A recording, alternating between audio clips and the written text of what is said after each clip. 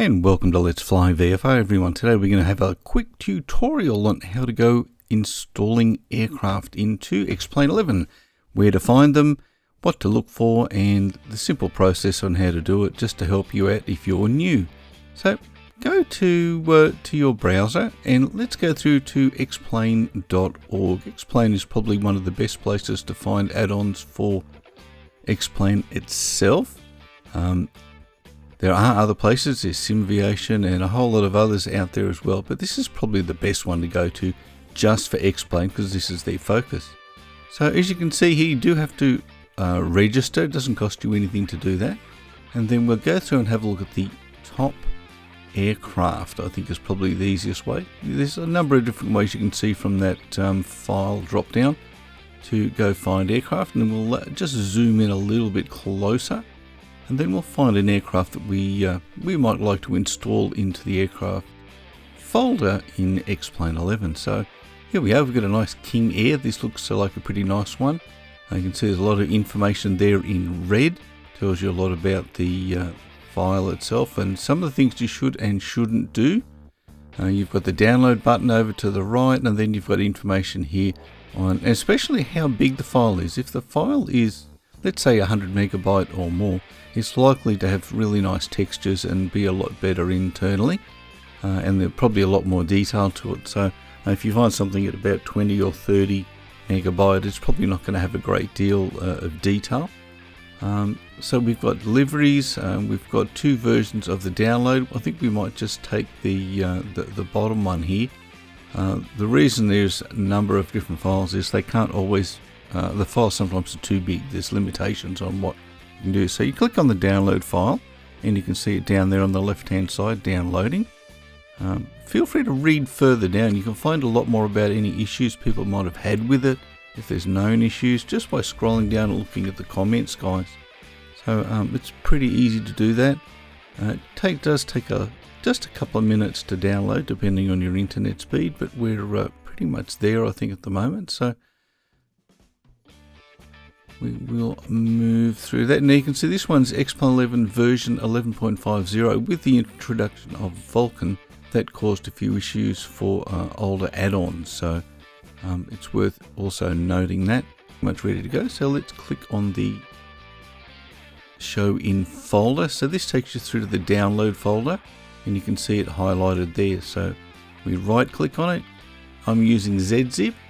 You need a, a something to uncompress it. So you can get WinZip or ZZip. You can quickly find that. I'll try and leave you a link in the description to go find that and download it. Now, what's important with these folders is that you have the folder, here, as you can see it here. So you got a folder there and it's got all the internals. Okay, if you go back one step, grab that folder, okay?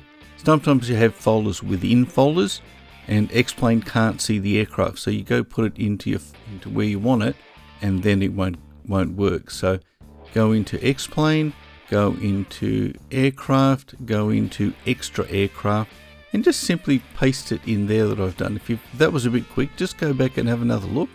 But you can see the, uh, the aircraft folder uh, is now sitting there, and that's all there is to installing. So all we need to do now is to go ahead and open up X-Plane, and we will find it sitting in the menu waiting for us. This takes a little time. Just had an update to 11.52. New flight. And uh, done this uh, twice today. I downloaded that uh, is it Howard or whatever aircraft it is there. We'll just have a look around so we can find it. There it is. There's our King Air that we've just downloaded.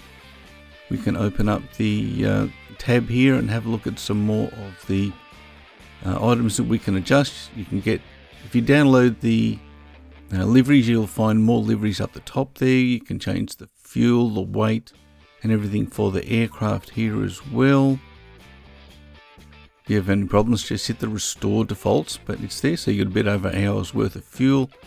Failures, now here you can set up for, for failures so that parts of the aircraft do fail, because that's what happens in real world. Things break on occasion. So you can go through and do that. Once you have a failure, you can come back and fix everything there just by clicking on that if you have an engine fail or a prop fail. Uh, so we'll pick somewhere to go and have a look at the aircraft itself. pick somewhere quick. Um, I have got the uh, Orbx True Earth scenery, but it does take a long time to load at the moment. It's on a uh, on a hard drive as opposed to an SSD.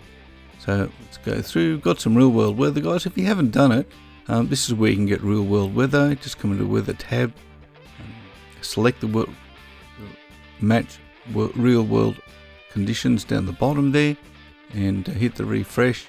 And up there in the top corner, you can tell how often to check so that you get updates as you're flying along. If you happen to be going for a long flight, and we'll just duck into Adelaide International YPAD and have a look and see what the aircraft looks like. So here we are inside. There's a little bit of a scenery issue there. Not sure what that's about offhand, but I won't worry about it for now. Um, this is very detailed, isn't it? Looking good. Now, one thing I couldn't do is work out, work out how to turn the artificial horizons and other stuff on on those um, gauges directly ahead, but it's something we'll uh, we can work out later on. Lots of gauges, everything's clickable. I did have a look at this in VR. It looks really good in VR as well. Textures here are fantastic. Look at the, the shine on the engine and the uh, and the spinner, the prop there. Shine and the detail work on the uh, the wings is just really really nice. It's fantastic. Done a lot of work here, guys. So that's why the file is a lot larger in that like 380 uh, megabyte regions because of all the textures and work that the guys have done. Fantastic work. Uh, looks very nice. Looking forward to taking this thing for a flight. But let's have a look a bit more around. We can set up some uh, views. Now, if you're not sure about setting up views in X-Plane, it's really easy. Um, you can use the W and uh, E, W and R E keys to rotate left and right. Then you can use the R and F keys to look up and down to rotate your view. You can use the arrow keys to go left, right, up and down. And you can use the, um, the the two, what would you call them, the two arrow keys down at the bottom next to the shift, or the point and the period to move to zoom in and out as well, guys. So you can do all of that. And once you set uh, a view that you like, just hold a control, hold control down, and then hit the uh, hit one of your numpads and it will, numpad keys and it will store. So if you go to set up your your pilot view, if you hit control and say numpad uh, 8 is what I would use, it's the very top center. And then I would use the one to the left, which would be the number 7, and I would do like a quarter view to the left. And then I'd use the 4 key to do a full 90 degree to the left view. That sort of thing is what I would look.